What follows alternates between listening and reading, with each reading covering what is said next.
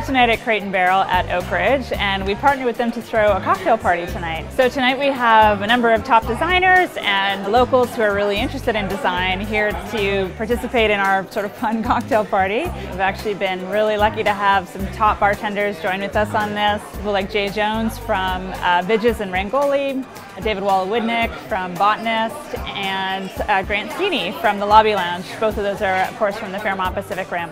So it's been super fun to partner with Crate and Barrel tonight. You know, there's a real sort of uh, alliance in uh, design. They take it very seriously, as we do at Western Living. And of course, great cocktails make it a pretty nice night to shop.